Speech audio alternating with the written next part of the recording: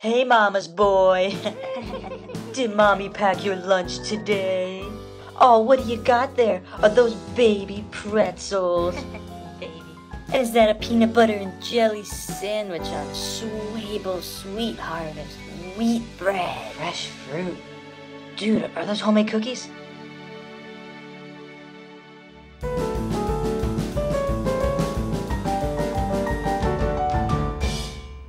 This week for show and tell, I brought the coolest thing ever.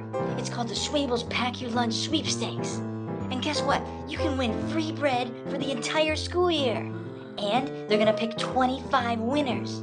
All you gotta do is go to the store and buy a loaf of Schwebel's Sweet Harvest wheat bread. Packing your lunch has never been this awesome.